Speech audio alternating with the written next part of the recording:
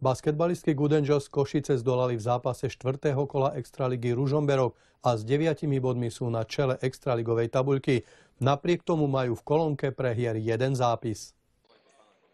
Košičanky prehrali na palubovke piešťanských čajok 70-75 a po dva pol roku stratili neporaziteľnosť našej najvyššej súťaži. Tu si držali neuveriteľných 900 dní v 67 stretnutiach. A tak nebudem klamať, že ma neprekvapila. Pravdu poviem, že ešte aj počas polčasovej prestávky, uh, myslím, že nielen ja, ale všetci sme si boli viac menej takí istí a takí kľudní, že vlastne ne, nemôže sa nič stať, pretože uh, my sme hrali ten prvý polčas, poviem tak na 50% a stále to stačilo podarilo a myslím si, že tá príučka v tom druhom polčase je pre nás hlavne pred tými našimi podstatne dôležitejšími zápasmi asi to najlepšie, čo sa mohlo stať. Slovenského majstra čaká na budúci týždeň prvé kolo Eurocupu. Na domácej palubovke privíta DVTK Miškolc. Pre hry ku športu patria, určite nie je milé stratiť 900-dňovú neporaziteľnosť, ale už to nevrátime a verím, že si z toho zoberieme len to poučné.